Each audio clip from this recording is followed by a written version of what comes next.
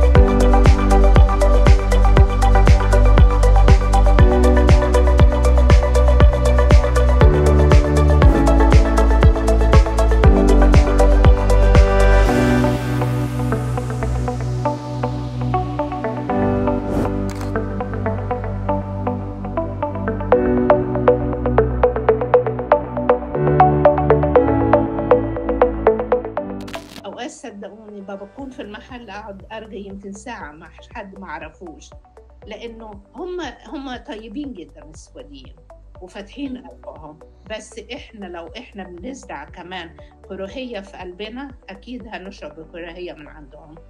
كلمة إحنا وهم دي بسيبها خالص. عنهم